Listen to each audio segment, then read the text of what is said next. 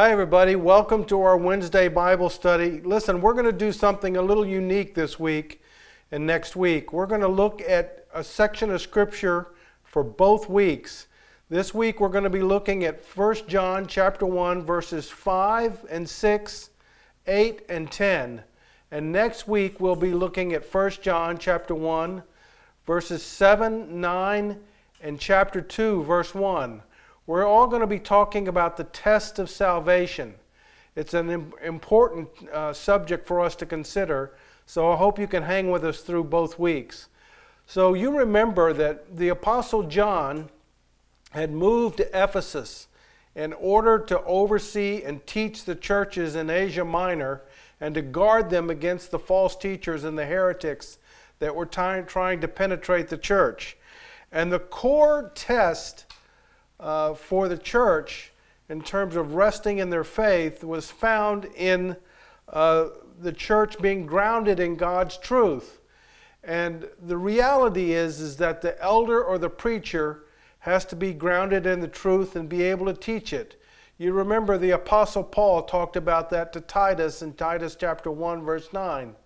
But the other thing is that a wise elder or pastor will also give the church some test of salvation so that they can discern whether or not they do belong to Christ or not. And that's exactly what John does in this section of Scripture. So it's critically important for us to look at. Now, John, this week, as we'll see this week in the section that we're going to look at, he gives two primary tests of salvation. First, it all, it's all centered around the nature of God. And the second test is centered around the certainty of sin. So let's go and let's read uh, 1 John chapter 1, verses 5 through 10 to tonight. And then next week we'll read the same section of Scripture and add chapter 2, verse 1 to it. But let's read what he says. This is what he says This is the message we have heard from him and proclaim to you that God is light and in him is no darkness at all. If we say we have fellowship with him while we walk in darkness, we lie and do not practice the truth. But if we walk in the light as he is in the light, we have fellowship with one another, and the blood of Jesus, his Son, cleanses us from all sin. If we say we have no sin, we deceive ourselves, and the truth is not in us. If we confess our sins, he is faithful and just to forgive us our sins and to cleanse us from all unrighteousness. If we say we have not sinned, we make him a liar, and his word is not in us. Amen. May God bless the reading of his word. So before we go a step further, let's let's pray and ask the Lord to bless our time in his word tonight. So let's pray. Father, we're thankful for what John has to share with us tonight, an important lesson as we consider the test of salvation. It's good to always look and, and to discern our lives. And this is what John is trying to do for the church. May we apply his wisdom to our lives tonight. We pray this in Christ's name. Amen. You know, I want to take a, a, look at the nature of God and look at verse 5. You know, John reveals that he and the apostles, they received a message from Jesus and they announced it to other believers. And the fact that Je- the message they revealed was that Jesus was God in the flesh and a perfect source of revelation regarding the character of God. It's a critical stance for the church to get a grasp of. And in terms of verse 5, the nature of God, if you recall what Jesus reveals about God, uh, throughout the Gospels is, is that God is spirit, first of all. He's immaterial in form. You know what John chapter 4, verse 24 says. He says, God is spirit, and those who worship him must worship in spirit and truth. So Jesus taught that God was spirit. And the second thing he taught was that God is love. It's a key character trait reflecting the nature of the Trinity among themselves and their love for mankind. There is just dozens of verses in the New Testament that reveal that. And in 1 John chapter 4 verse 8, John says, "Anyone who does not love does not know God, because God is love." And the third thing that we see uh, in the New Testament is that God is light. It captures the true essence of his nature and is foundational for all the rest of 1 John and for the book of John for that matter. You, you recall back in the Old Testament when Moses descended from Mount Sinai after receiving the Ten Commandments, his, his face shone with light. And you recall at the Transfiguration, Jesus came, became as light. And he, was a, and he is the source of the believer's light. Uh, listen to 2 Corinthians chapter 4, verses 4 through 6, when Paul says, In their case, the God of this world has blinded the minds of the unbelievers to keep them from seeing the light of the gospel of the glory of Christ, who is the image of God. For what we proclaim is not ourselves, but Jesus Christ is Lord, with ourselves as your servants for Jesus' sake. For God, who said, let light shine out of darkness has shone in our hearts the, to give the great light of the knowledge of the glory of God in the face of Jesus Christ. Amen. Listen to what Psalm 36, verse 9 says For you is the fountain of life. In your light do we see light. And then in John 8, 12, again Jesus spoke to them, saying, I am the light of the world. Whoever follows me will not walk in darkness, but will have the light of life. So you see, throughout Scripture, we see this importance placed upon the light of God. Now, Scripture equates two critical principles that flow from the fact that God is light. First, light represents the truth of God as revealed in His Word. We see that in Psalm 119, verses 105, and in verse 130 in Proverbs 6:23 and 2 Peter 1:19. But the second key critical principle is that light is linked with virtue and with moral conduct. Ephesians 5 verses 8 through 9 says this, or at one time you were darkness, but now you are the light in the Lord. Walk as children of light, for the fruit of light is found in all that is good and right and true. Amen. Now, these two principles are keys to discerning false prophets. If truth and righteousness are not revealed in a person's life, that person does not possess eternal life. They cannot belong to God because, I, because in Him there is no darkness at all, and He lives within us. So if we say that we belong to Him but we walk in darkness, there's, there's something that's not congruent there. It doesn't work. And since God does not possess any darkness at all, and He is the perfect, and He is perfect in truth and holiness, His followers, we seek to live for Him. We seek to honor Him. We seek to glorify Him.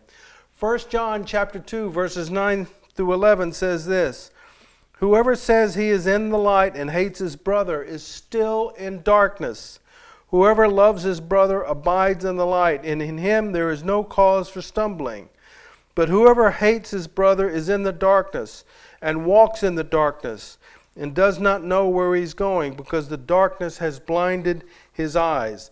So you see, the, the reality is, is we can't claim to belong to God, which is light, and then walk as if we walk in darkness. It doesn't work.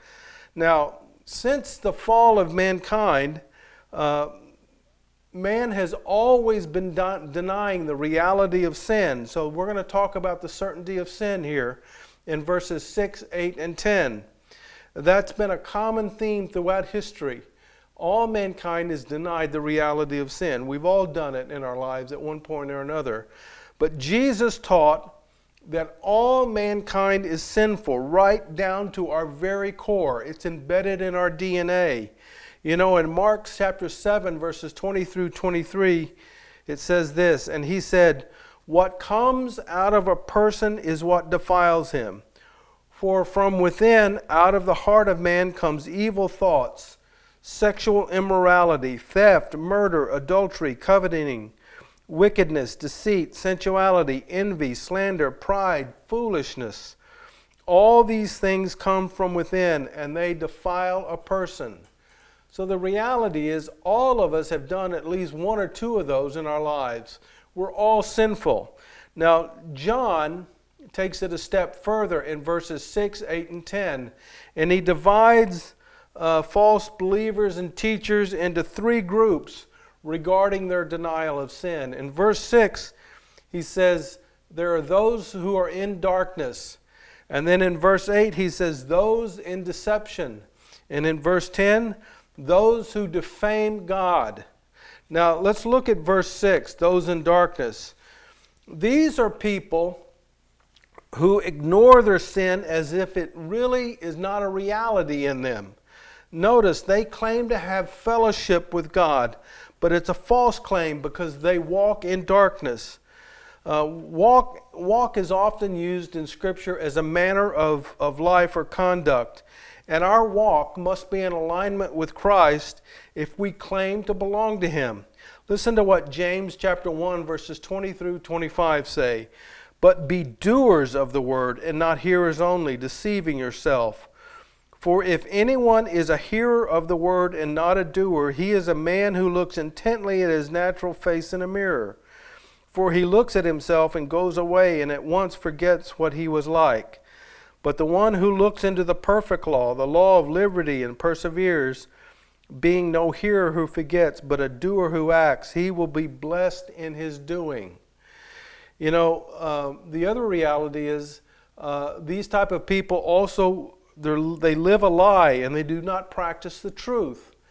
Uh, Matthew 6, 22 through 23 says this The eye is the lamp of the body. So if your eye is healthy, your whole body will be full of light. But if your eye is bad, your whole body will be full of darkness. If then the light in you is darkness, how great is the darkness? You know, believers possess God's life and are new creations in Christ, made for good works, and cannot continue to walk in darkness. Uh, if you have my notes, you see all the references there that I've got regarding that. So the first thing is that these are people who, who are in darkness. They admit that there is no sin in them, but yet their lives reveal contrary to that. Now, the second people in verse 8 are those in deception. They claim they have no sin implying that they know something we or God don't know and that the truth is not in them. Uh, the Bible teaches that all of us are sinful and we're deprived. In Romans 3, verses 10 through 23, listen to what the Apostle Paul wrote. He says, As it is written, none is righteous, no, not one. No one understands, no one seeks for God. All have turned aside. Together they have become worthless. No one does good, not even one. Their throat is an open grave. They use their tongues to deceive. The venom of asp is under their lips. Their mouth is full of curses and bitterness. Their feet are swift to shed blood. In their path are ruin and misery, and the way of peace they have not known. There is no fear of God before their eyes. Now we know that whatever the law says, it speaks to those who are under the law, so that every mouth may be stopped, and the whole world may be held accountable to God. For by works of the law no human being will be justified in his sight, since through the law comes knowledge of sin. But now the righteousness of God has been manifested apart from the law, although the law and the prophets bear witness to it the righteousness of God through faith in Jesus Christ for all who believe. For there is no distinction, for all have sinned and fall short of the glory of God. That applies to all mankind, for me and you. We've all been in that camp until we came to know Christ. So, you know, first in verse 6, we see those who have said it doesn't apply to me. And then verse 8, those who were deceived. Now we come to verse 10. It's those who defame God. These are the ones who claim that they have never sinned, making God a liar in two ways. First, uh, they deny his clear teaching on mankind's sinfulness. And second, they imply that they don't need a Savior, uh, which is contrary to Scripture. Again, you can see all the verses I have there if you have my notes. All three types of these false teachers fail the test of sin's certainty proving that His Word is not in them. See, the true believer understands that they are a sinner. It's, a, it's one side of the gospel coin. One side is the reality of sin, the other side is the reality of God's mercy, love, and faithfulness to us. So, people who teach that you don't need to talk about sin are not teaching the gospel. We need to be careful of that. Now, remember Jesus' words uh, to the tax collector and the Pharisee in Luke 18. It was the tax collector who admitted his sin and was justified before God. You remember that great story. The Pharisee went away not believing that he had, he had a need to confess sin. So that's the first lesson this week. It's very short, but it's very important. And here's the questions for discussion. I want you to go read Psalm 27, verse 1, Psalm 36, verse 9, John chapter 1, verse 9, John chapter 8, verse 12, John 12, 36, and 2 Corinthians chapter 4, verses 4 through 6. And I want to ask this question How has God been your light in your life? And what has been the result of His light in your life? How has He changed you? Where have you seen yourself change over time because of God's revelation in your life? Here's the second question I've got for you. John gives two critical tests for false teachers in these verses.